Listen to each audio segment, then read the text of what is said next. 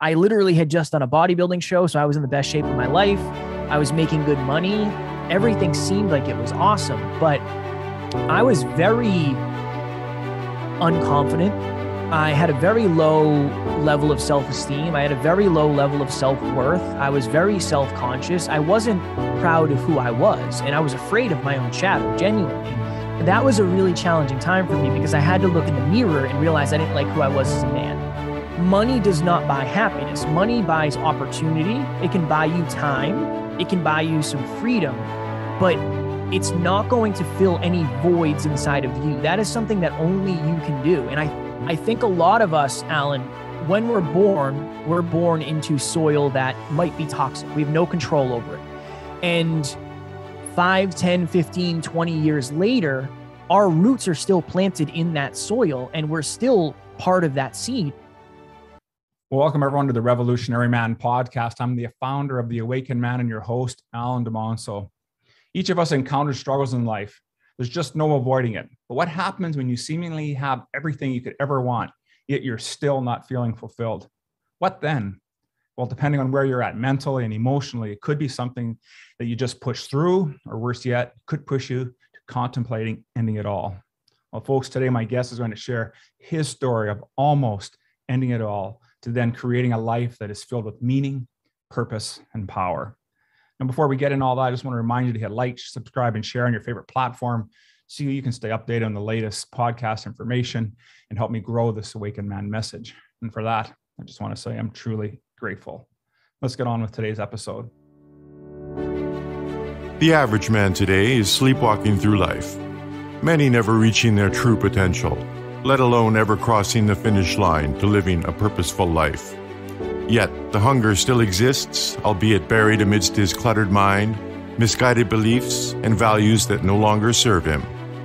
It's time to align yourself for greatness. It's time to become a revolutionary man. Stay strong, my brother. As you know, it's always customary to start off with a couple of questions just to help us set the stage for today's discussion. So, when was the last time that you felt down and out, you know, where life had little to no meaning? And did you contemplate ending it all? I know these are hard questions. And I know that because we need to, we really need to have a hard conversation about this. And for many men, we just don't care to do that. And then because we don't want to do that, we end up by struggling. Now, there's lots of reasons, and none of them are really good. So, what do you, what are you going to do instead? Well, today, my guest, Kevin Palmieri, discusses his life struggles and his successes and how he's transformed his life and his take has been able to take consistent action. So allow me to introduce Kevin. Some people find rock bottom, he says, but Kevin found out that rock bottom also has a ba- has a basement. And in his mid 20s, he found out he had it, he thought he had had it all. He had a beautiful girlfriend, a high paying job, a sports car, a dream body. And with all of this perceived success, he found himself still sitting on the edge of his bed, debating suicide. Not once, but several times. But years later, Kevin and his business partner founded Next Level University, which features, among other things, a podcast that generates multiple six figures, has hundreds of thousands of downloads, and is in over 100 countries. Welcome to the show, Kevin. How are things today? I am living the dream, Alan. Thank you for the wonderful intro. I'm excited to chat with you and, and see where we go for the listeners today. Yeah, I'm really grateful for reaching out today. And, you know, in all in the men's work that we do here with the Awakened Man, we always talk about all of us being on a hero's journey. You know, the the idea that we're always on some form of a quest. And so I like to start off by asking my guests on the show is tell us a little bit about your journey, your quest, and how that shaped you and led you to who you are today and the thing and the work that you do. Absolutely. So I always start my story with a little bit of context. So I was raised by my mom and my grandmother. I did not have my father in the picture and I did not meet my dad until I was 27 years old. So obviously there's a lot that goes into that and a lot of the reasons i am the way i am is based on that experience that i dealt with growing up but when all of my friends alan went away to college after high school i didn't know what i wanted to do with my life but i knew i didn't want to go to college so mm. i just started working while everybody else was out partying and meeting people and what seemed like living the dream I was working at the local gas station from six in the morning until two in the afternoon, and that was my my full time job. And I ended up just job hopping around through my teens and my early 20s. And I ended up getting this very, very good job. where I was in the weatherization industry. So all that means is we would go into a building and we would make it more energy efficient. We worked in state and government buildings. So I got paid by the state and or the government. So I usually made really good money. Yeah. And thank you for the wonderful introduction. And as you mentioned in that introduction, when I was 25, I basically had what anybody could want. It's it was quote unquote the dream life. I had a sports car. My girlfriend was a model. I literally had just done a bodybuilding show, so I was in the best shape of my life. I was making good money. Everything seemed like it was awesome, but I was very unconfident. I had a very low level of self esteem. I had a very low level of self worth. I was very self conscious. I wasn't proud of who I was, and I was afraid of my own shadow, genuinely. Mm. One day, my girlfriend came to me. We lived together in New Hampshire, and she said, Kev, I want to move across the country to California and I want to chase my dreams. And I gave her every reason in the world why she shouldn't do it. This, this, this, that, just a bunch of BS because I was afraid that she was going to leave me behind. Mm-hmm. And I was afraid that I wouldn't be able to keep up and my goals and my dreams weren't big enough. And she came back a couple of weeks later and we had a conversation and she said, I'm going to leave you. I need to go chase my dreams. I need to go do my thing. And you're not the man that I thought you were. And she ended up leaving me and and chasing her dreams. I'm glad she did. That's exactly what she should have done.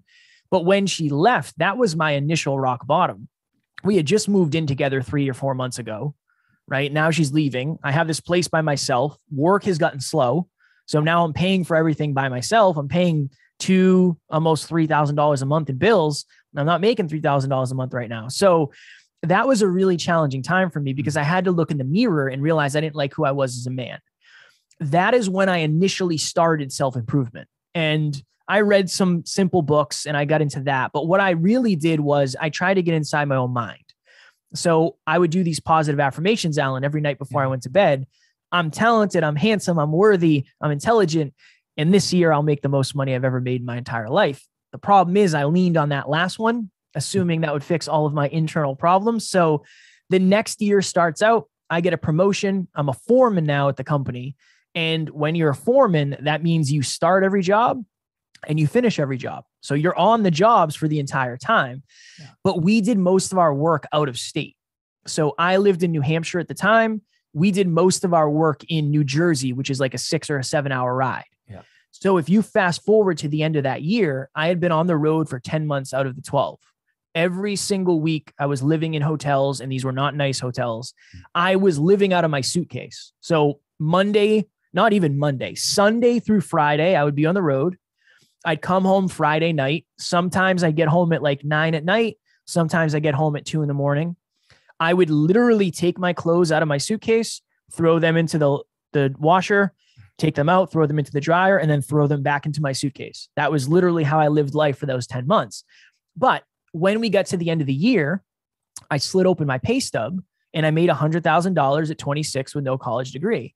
And I remember I had another one of those moments of, oh, I put all of my emphasis for happiness into external results. I'm mm-hmm. still miserable inside. Nothing changed. I'm still insecure. I'm still self conscious. So I did what anybody does. I started a podcast called the Hyper Conscious Podcast. That was how this all started for me. And I was having deep conversations with my friends about their lives. One of my friends debated suicide and I went to the hospital with him and we talked about that on the podcast and it was powerful. Another one of my buddies had his first child when he was I think 19 or 20 and we talked about how that changed his life and it was awesome and I really felt like I was having an impact for the first time in my life but the problem is work was just as busy and I didn't care about my job anymore. I didn't care about the money because I realized money didn't bring me happiness. I didn't care about traveling because I didn't want to do it anymore. It wasn't worth it to me. So I started calling out of work. I would show up late. I would leave the job site early, which people did not appreciate. And it got to the point, Alan, where I would have to be in New Jersey, which was seven hours away, six hours away, depending on traffic, on Monday morning at 7 a.m.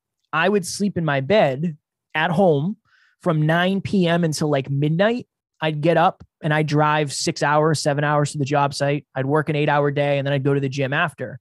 And I was just burnt out. I was running on fumes. And the the rock bottom basement moment, the the day, the morning, the event that really shifted my life more than anything. I woke up in New Jersey, 5:15 in the morning, colds, fall morning. I wake up and I slide to the edge of this hotel bed. And I'm six hours away from home. I have somebody else in the room with me who's a coworker, but you know, this person isn't really a friend of mine. And the best way to explain it is there's 10 televisions on in my head at the same time, and every single one is on a different station. And one is saying, Kev, you're stuck here forever. I know you want to go do other stuff, but you're never going to find a job like this. You got very lucky to make the amount of money you're making. If you do leave, what will your friends think? You make more money than any of your friends, and they all kind of look up to you. And you know, you're you've positioned yourself as successful in your friend group. What will your family think? You make more money than anybody in your family. You can't do this. And the loudest one for me, Alan, was Do you really think you can be a successful podcaster? And genuinely, transparently, authentically, I did not believe that was possible for me. And in that moment, I felt like if I was to end my life, I would take my problems with me. And that wasn't the first time I had felt that. That was probably the the third time. I I had been to therapy at that point and I had done a lot of reflection, but I ended up texting my business partner who is also named Alan and I said, "Hey, I'm going through it. I'm dealing with these thoughts. I don't know what to do. I'm in a really dark place." And he said, Kev, so much has changed for you over the last couple years, but your environments have stayed pretty much the same. I think it's time for you to, to change your environments. Three or four months later, I left my job, became a broke entrepreneur for the next three years, which was probably more challenging than the first part of my life, honestly. Um, but yeah, that's that's really where it started for me. My goal is to be the person that I needed when I was sitting on the edge of that hotel bed. And that's one of the through lines of why I do the things I do. You know that's why we're recording this on a saturday when you know some other people are going to the beach. It's going to be 92 degrees today. I'd rather be here doing this because this is what i love. Oh, i hear you brother. That's a great great story. And thanks so much for putting all that context around around the story. And is it so true that you know a couple of notes i wrote down is it's about the external pieces of our life and how we and then how we measure ourselves against that and we feel and we forget that it's really it's an intern it's an internal job. And one of the things i i always say is that life's a do it yourself project. It doesn't mean do it by yourself it means do it for yourself. Mm and you know you had the fortitude to at least be able to reach out to your business partner and and, and get that and get that wake up call. The other piece that i note that i made that here was about how you measured success you know, and you had all these different things. And then it was the last one. It was the money thing. That'll make me bet. That'll make me happy, you know, and that's how I'll determine that I'm successful and that I'm worthy. And I'm just wondering that through this time there, that's obviously something that, you know, a switch was flicked for you. So what was the first thing that after you, after you started to realize what was going on, what was the first thing you knew you had to change? And then how did you go about doing that? Mm, I knew that I had to tap into who I was as a human being to figure out. I think it was the understanding, Alan, that happiness is results based. Mm-hmm. So if I do well at the gym today, I will be happy. Or if I do well at my speech, I will be happy. Or if I do well in this podcast, I will be happy. When the through line of what people are looking for, I think is fulfillment. I think it's contribution worst case scenario, I bomb this and it's terrible. And Alan says, Hey, we can't publish that. That was that was the worst thing ever. But I'm still in the process of doing what I love. I'm in alignment with the best version of Kevin. So I think that I had to unlearn the fact that money does not buy happiness. Money buys opportunity. It can buy you time. It can buy you some freedom, but it's not going to fill any voids inside of you. That is something that only you can do. And I think there's a couple ways to do it. Ask yourself why. Why am I making these decisions? Why am I not making yeah. these decisions? But one of the things that I really believe is very important that not enough people talk about, and I just said the word unlearning. Mm-hmm. I think a lot of us, Alan, when we're born, we're born into soil that might be toxic. We have no control over it. And 5, 10, 15, 20 years later, our roots are still planted in that soil and we're still part of that seed. And we're learning and we're reading books like you have behind you. For some reason it doesn't seem like it's landing. It's not getting to the identity level. It's not getting to the root. And i think the problem is a lot of us are pouring this new nutritious soil on old toxic soil. I think the thing that i understood that i had to do was i had to reflect and figure out why do i think the way i think? It's not based on what I did yesterday. It's based on what I've always done. So I really tried to take a look back into childhood, into why I was making the decisions I was making, into traumas, into fears, into successes, into pleasures, and really understand myself at a deeper level. Hyper conscious means acutely aware, acutely aware of why things are the way they are, why they aren't. That was the biggest thing I did. I tried to change the way I thought which changed the uh, changed the way I acted, and then that would change the way I live. That was our motto for hyperconscious.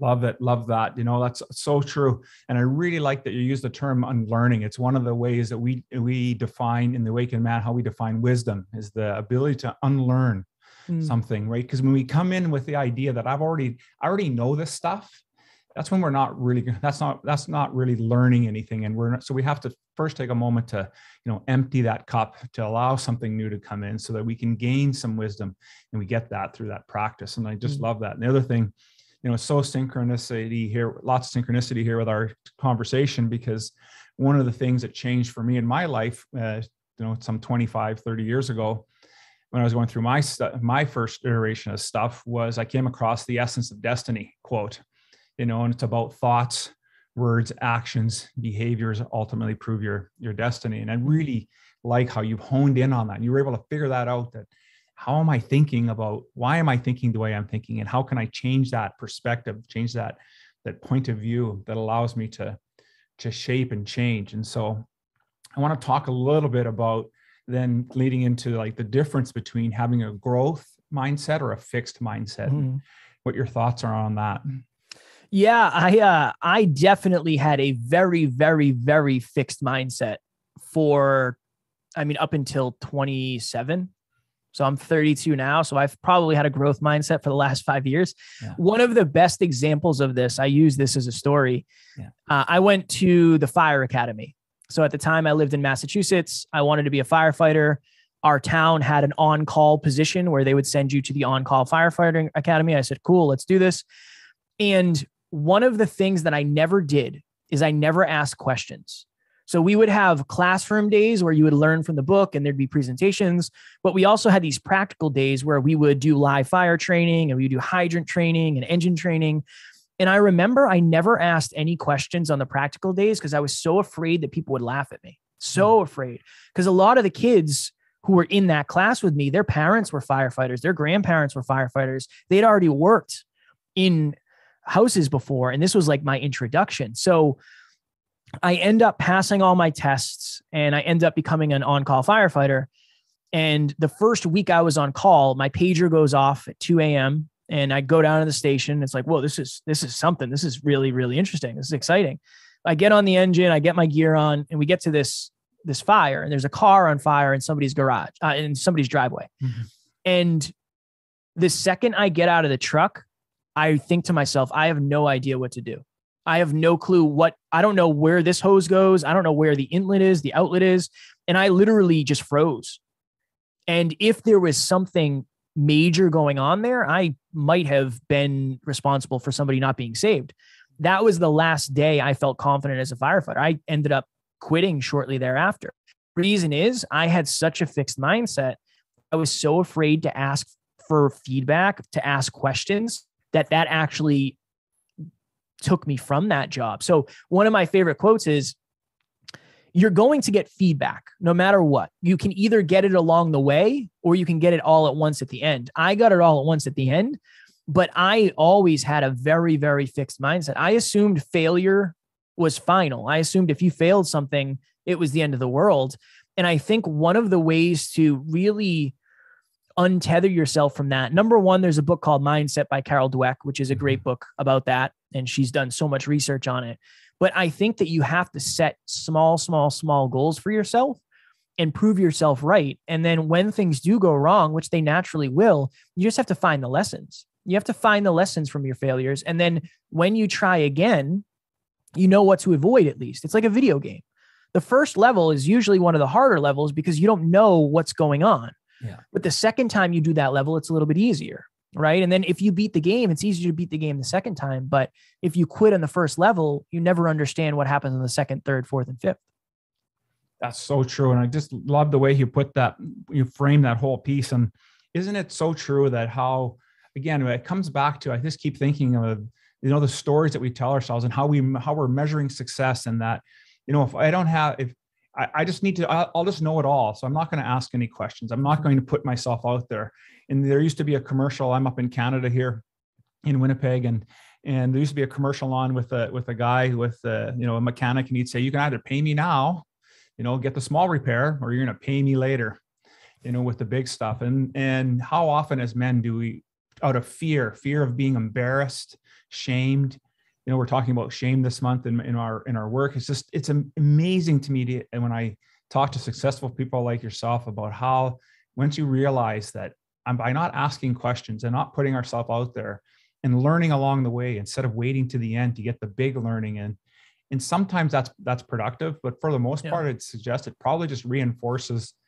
the lack of self-confidence that we have would you agree with yeah. that or yeah i think that's the reason that i was so afraid to ask a question because i think my thought process at the time was well if somebody laughs at me that's going to directly hit me in my identity and that's going to hurt my self-worth where now it's I realize that yeah, it might I, maybe I will get laughed at, but I also know that I will be the one who feels more competent in the long run. So I think my awareness now of the question doesn't even matter. The awareness that comes with the answer and the fact that I can put that into practice later, it doesn't matter what happens in the interim, really. And that's something that's taken me a long time to to really adopt, but it's also been me constantly getting out of my comfort zone. Mm-hmm. I mean, when Alan and I go to events, I always make it a point to try to ask a question. Even if I don't have one, I just make one up because I'm trying to teach myself look, it's not bad. It's okay. And honestly, I'm a podcaster, so I'm actually pretty good at asking questions now. So that that helps, but I wonder if that came from the fact that I never wanted to ask questions in the past. Yeah, it could be right. You, you know, the world works in different ways, and so right. choosing the idea you know that i'm going to be a podcaster you kind of put yourself out there similar to you know as i'm developing uh, this work it was what's the best way to get the communication out there? And so i really, really enjoy listening to podcasts. I thought well why don't we try that? I can talk mm-hmm. for a little bit. And and i just love interviewing folks such as yourself because you learn so much from even though the stories may have some like a grain of truth and similarity the journey is so different. Like yeah. your journey is so different from uh, from from everyone else. And so I wanted to go back, take a little bit step back though, and talk a little bit about mental health and the toll that it takes on people, especially for men, because the statistics for for suicide for men is so high, like it's anywhere between four to five times that of women. And and I just want to get your sense, uh, get a sense from you uh, that when did you notice that things were really starting to get, you know, that that was starting to become heavy for you? And what were the, you know, you talked about reaching out to, to Alan to, to mm-hmm. make a change, but what was going on for you? When did you start to notice? And how did you finally get yourself to take that action? The first time i ever had any inkling that i was having any mental health issues i lived in boston with uh, my girlfriend at the time and we lived in this really nice apartment with this other couple and we had the loft upstairs. And one day everybody was gone to work and i had the week off or something. And i remember laying in bed and i i remember vividly thinking to myself if this is what life is i don't know if i want to do it Hmm. it wasn't i wasn't having like suicidal ideations but it was very much i don't know if i want to do this anymore. This is just it's gray and it's boring and there's i just don't feel fulfilled and i just feel like i'm in groundhog day. I'm doing the same thing every single day.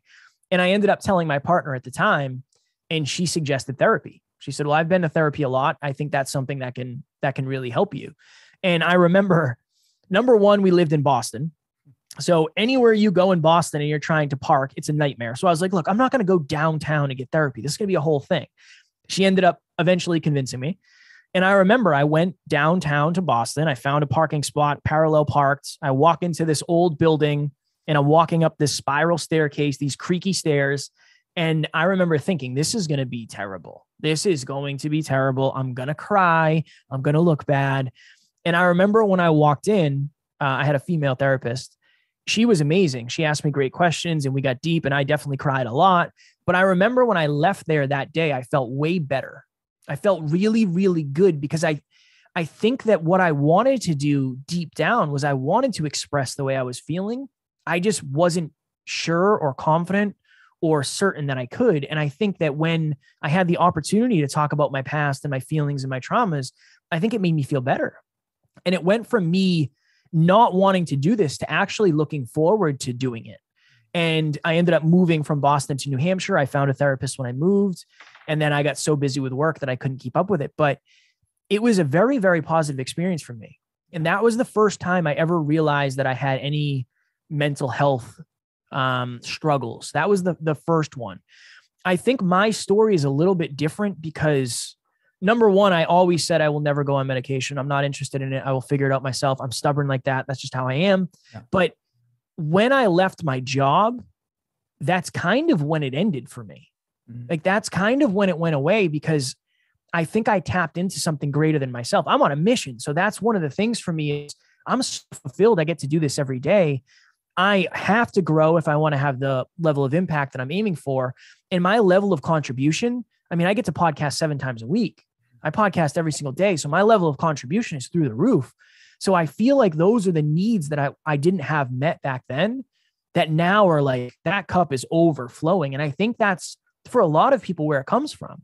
I think that if you feel like you're doing the same thing over and over and over and you're not growing and you're not contributing and you're not impacting the world in your your own unique way you probably don't have that fulfillment so i think that this journey has been in a way the best medicine for me that i could ever have honestly yeah, I completely agree with that that mindset, and I just want to applaud you and thank you for for sharing and, and letting guys letting guys know that it's okay to go out and seek help. You know, I did lots of therapy myself and did lots of work as well, and I think it's important that as men, sometimes we feel that we have this lone wolf idea and we're just going to yeah. do it by ourselves. And if you need that help, to go ahead and, and find that. So I really appreciate you you sharing that. Can I add to that, Alan? Yeah, hundred percent. I think that one of I got a lot of quotes today. I don't know why Saturday quote day. One of my favorite quotes is the level of your relationship is directly correlated to the level of vulnerability in it. I think that's where particularly with men it can be challenging because most of our relationships are not based on vulnerability. They're based on whatever they're based on. Maybe it's achievement or fitness or comedy or you know, ego, whatever it is, masculinity. So I would really, if you're out there and you're a man and you are struggling with expressing yourself, find somebody you feel comfortable being vulnerable with because that is the key. Vulnerability does not make you weak. It makes you strong. It means you're strong. By definition, doing the difficult thing requires strength. Vulnerability is difficult, but it is not a weakness. It is it is a superpower if you can be vulnerable, and you can for sure.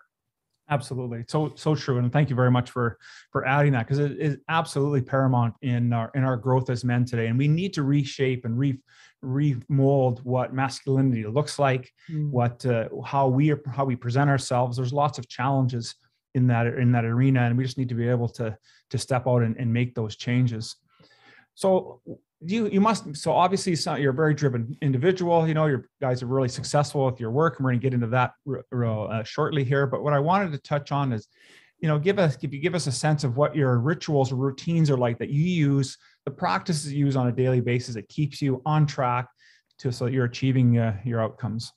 Yeah so i will i always preface this with this is my experience. I do not suggest necessarily that you do the same. Um, i live in a spreadsheet and I do the same 20 things every single day Monday, Tuesday, Wednesday, Thursday, Friday, Saturday, Sunday.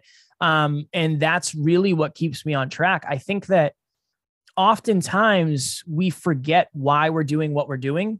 Or one of my favorite thoughts is you forget how good of a dancer you were. And when you stopped dancing, you no longer become a good dancer. So it's like when you stop doing what got you to the dance, you lose the results. It just helps me focus on the most important things. And at one point it was very constricting. It was like, I don't want to track my check, check if you do it, no check if you don't do it.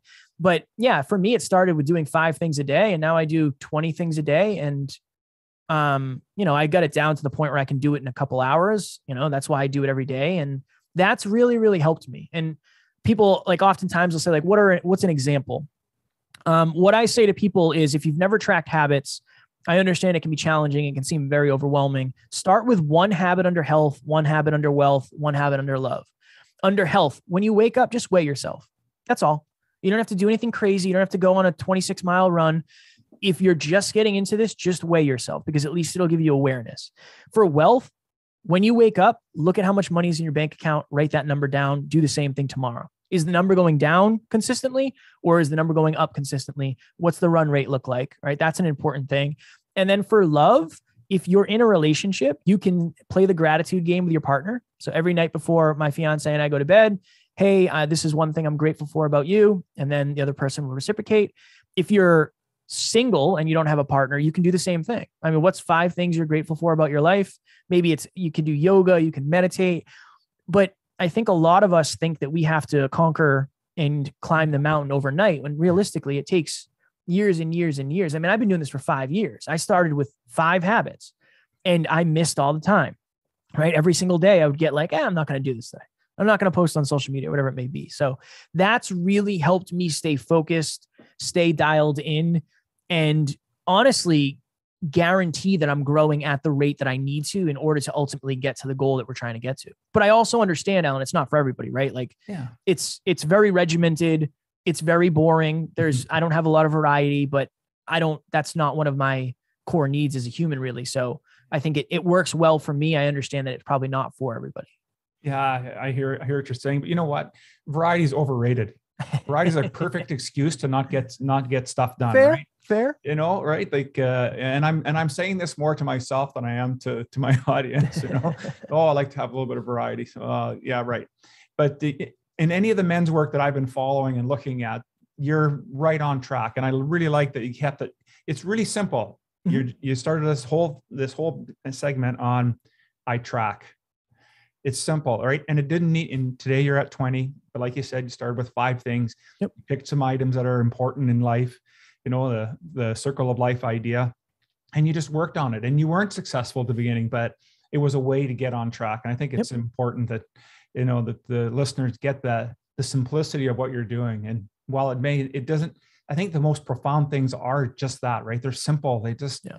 it doesn't need to be so complicated. And and I just liked how you did how you presented that. Thank you. The fundamentals aren't sexy usually. No. You know, it's just they've been around for so long, and yeah, I mean, if you want to become financially free and you don't know how much money is in your bank account, it's not going to happen most likely, unless it's luck.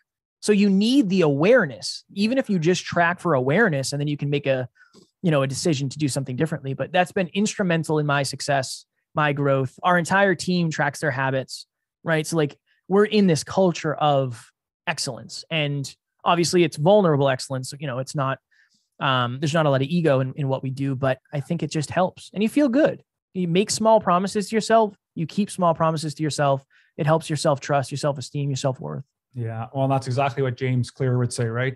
Right. talk about right then what's the what's the one thing the one habit you can do? No that's too big. What make it small. Yep. In infinitesimally small. What can you what can you do? So 100%. i really love that uh, that piece. Let's talk a little bit about your work.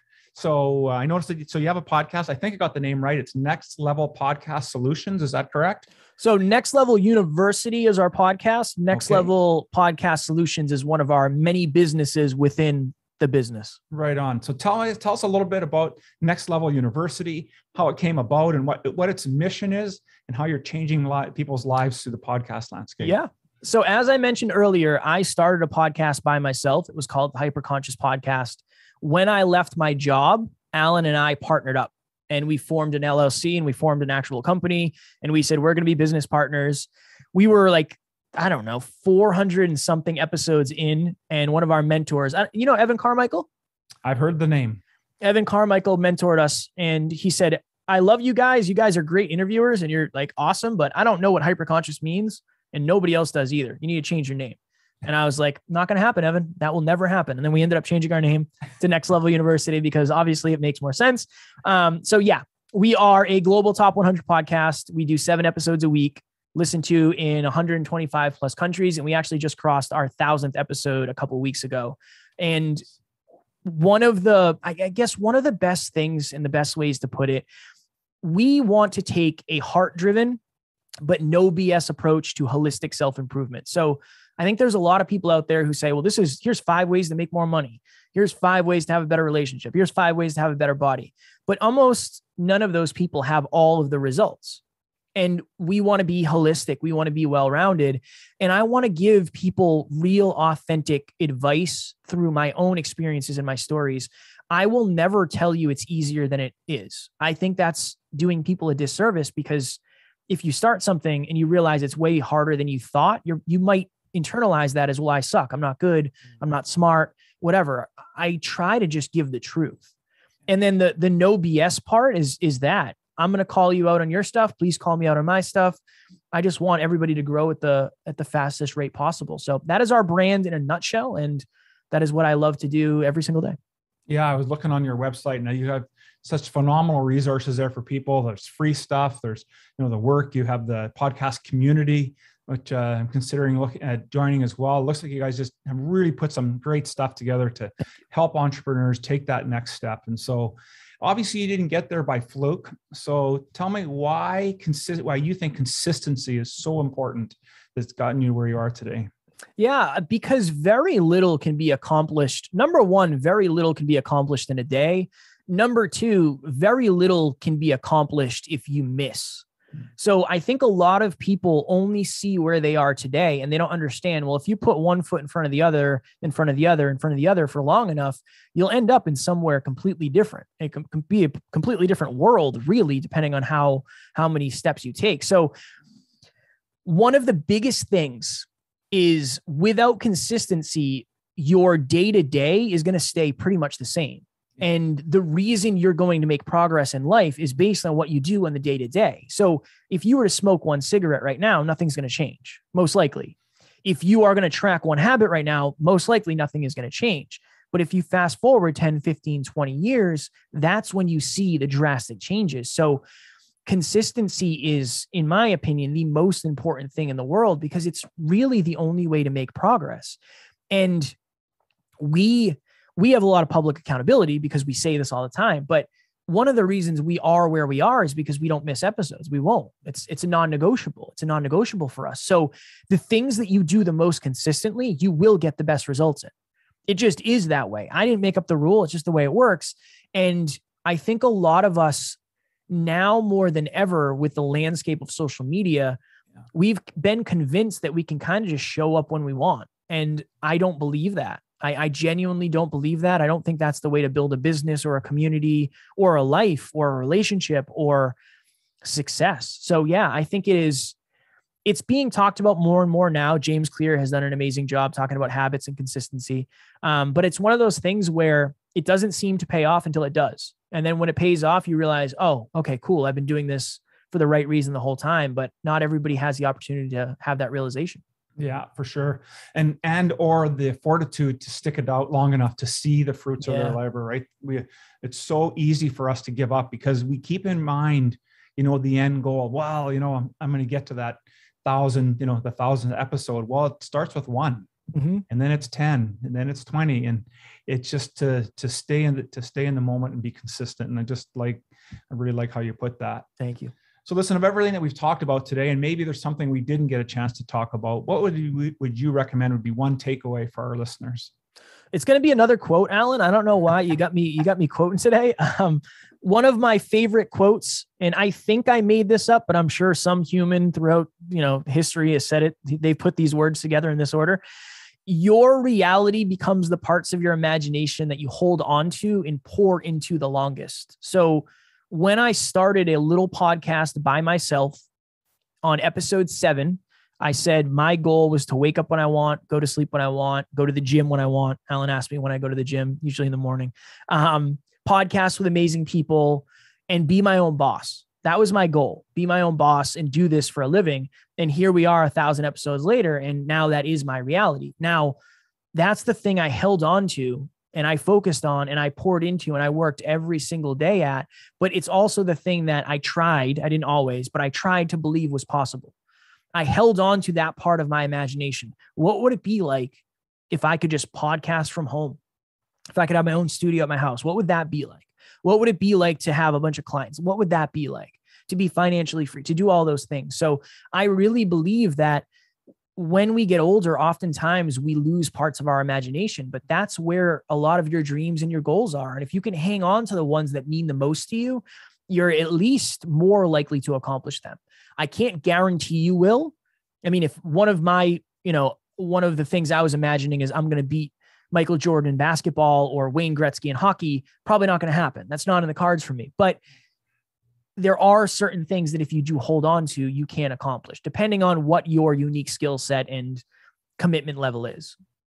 And that's so true. Thanks for nailing that. They just nailed it in the end there. It's about our unique honing in on our unique yeah. skill set because we're not all of us will be a Michael Jordan, Wayne Gretzky, right. Right. you know, or whomever we we may look at and that's so important. So I just want to say thank you so much, Kevin, for spending time with me today. Of course. You guys are doing such fantastic work with individuals, helping them to find their purpose. You know, we shed a little bit of light on mental health, and that you're being a truly you're being a beacon for others. And and so I just want to have one final question. We go, how would our audience get a hold of you, contact you, join your join your community, get involved with your work? Yes, thank you so much for the kind words. Uh, you can find us Next Level Universities. Just search that on any of the podcast platforms. We're also on YouTube. Our website is nextleveluniverse.com, and that has everything you need to know. And then if you want to chat with me, the best place is Instagram. My handle is at Never Quit Kid. I do all my own DMs and all my own social media, so I will get back to you. And usually I try to send a video, custom video to everybody that follows me. Nice. Well, I'm gonna make sure all of that information is in the show notes so people can get out, reach out, get a hold of you guys, and get involved with your work. You guys are doing fun, phenomenal stuff. So, thank, thank you once you, again for being on the show. Of course, I appreciate you. Thank you. It was wonderful. You're a wonderful human, and uh, I'm very grateful you're doing the work you are. Thank you so much.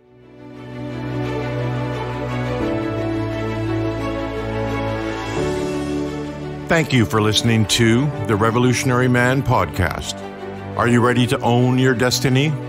To become more the man you are destined to be?